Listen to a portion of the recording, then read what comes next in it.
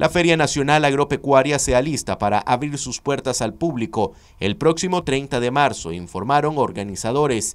Esta es nuestra Feria Nacional, la, feria más grande antes de Expica. Eh, que siempre es en julio, ¿verdad? Pero esta vamos a la versión 23 de nuestra feria, eh, donde tendremos muchísimas actividades, desde los jugamientos de ganado bovino, jugamientos de caballos iberos, lo cual habrá mucho casualmente este año, muchos participantes, eh, y muchas ganaderías de todo el país.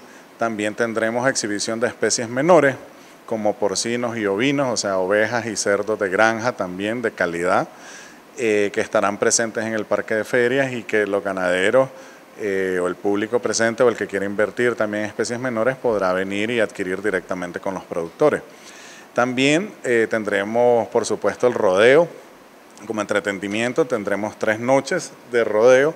Importante que los niños puedan tener un contacto, digamos, cercano con el campo, que es las muestras de, y exhibición de ganado que, tendremos acá directamente en la feria. Entonces muchos niños también eh, que muchas veces no tienen acceso eh, a salir mucho al campo, pues pueden venir y ver, eh, por lo menos mostrarles, decir de dónde producimos la leche, dónde se produce la carne que consumimos, los alimentos, el cerdo, las ovejas y muchas cosas más. El evento contará con prestigiosas actividades de reconocimiento al sector productivo nacional.